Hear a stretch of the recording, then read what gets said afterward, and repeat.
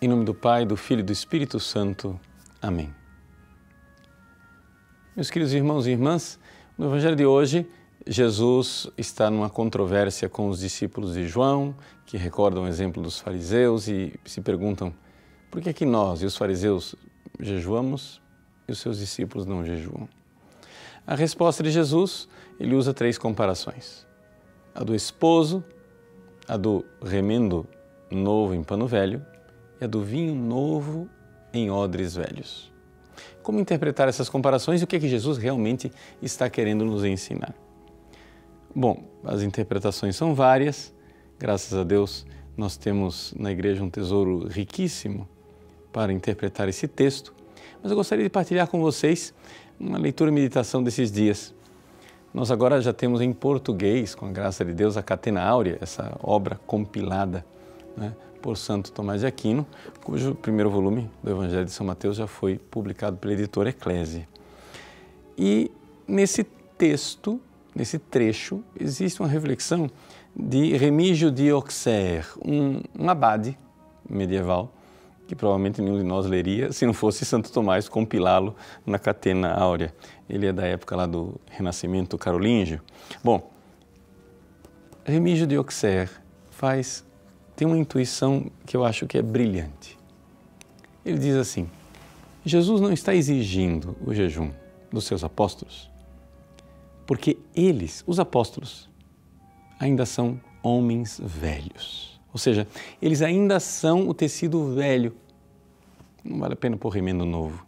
Eles ainda são odres velhos. Não vamos pôr vinho novo. Por quê?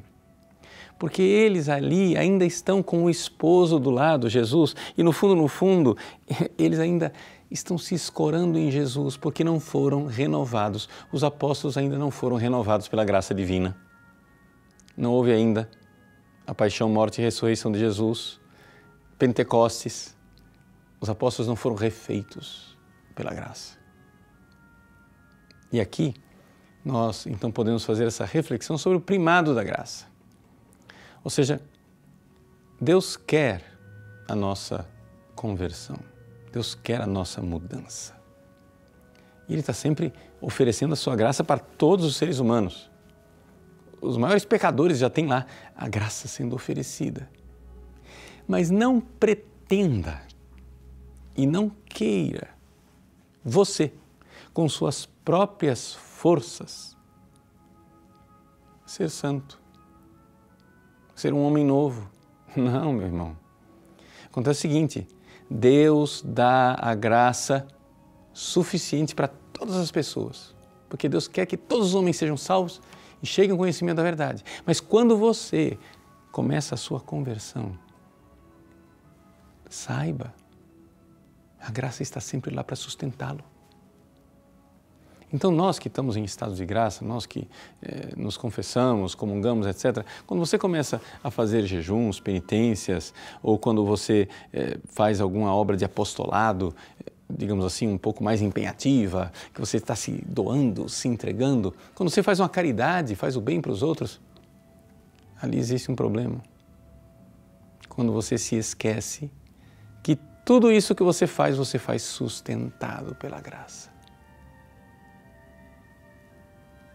Você tem que se lembrar disto, porque senão você cai na soberba dos fariseus. Você vai cair no erro daqueles que, como pelagianos, acham eu consigo, com minha própria força, ser santo. Não.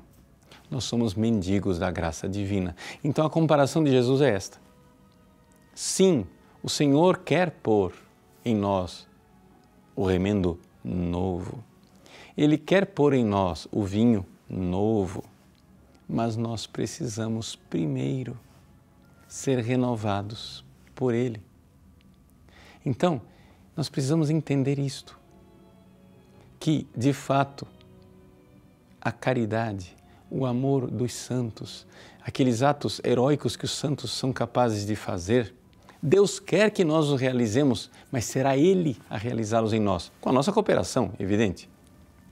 Mas é primeiro necessário conviver bastante com o esposo na oração, para que a graça nos ajude e nós então possamos realizar as obras do esposo. Então, esse é essa é reflexão que eu queria compartilhar com vocês.